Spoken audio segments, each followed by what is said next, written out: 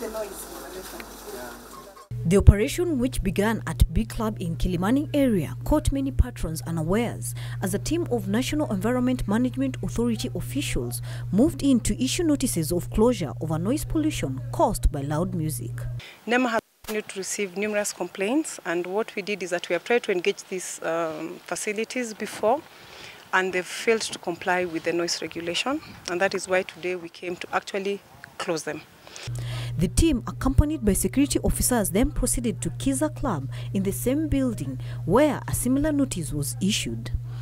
These clubs had been served with orders before to ensure that they comply with the noise regulation because ideally they are all located in areas that are considered residential and they are required to comply with uh, 30 to 35 decibels.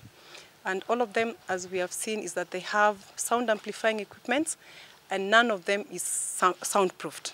So ideally, this, uh, the sound and the music has, been, has become a problem to the residents around, which has um, led to a lot of complaints from members of the public.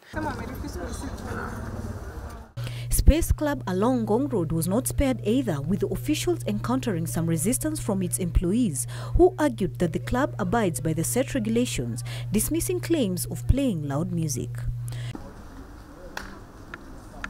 On the opposite side of the road, the officials also delivered a closure notice to Jiweke Tavern.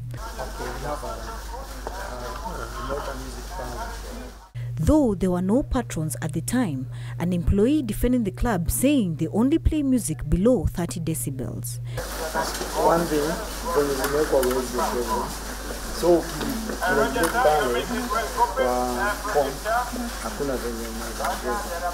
Nairobi County Director of Environment Njoki Mukiri warned that if the clubs fail to adhere to the set regulations, they will face legal consequences. We will close them until they can demonstrate to the authority that they can soundproof the facilities to the required standards and that they, know, they can maintain the, the permissible levels in terms of noise. She said they will carry out another crackdown on Friday to find out if the club's management have complied with the notices. If they fail to comply, what we are going to do is that we are going to take enforcement action. And like you have seen is that we have received a lot of support from the Kilimani police. And uh, what we will do is that we will go ahead and make arrests and we will ha we'll have to align them in court. NEMA plans to carry out similar operation in various parts of Nairobi to clamp down on the rogue club operators.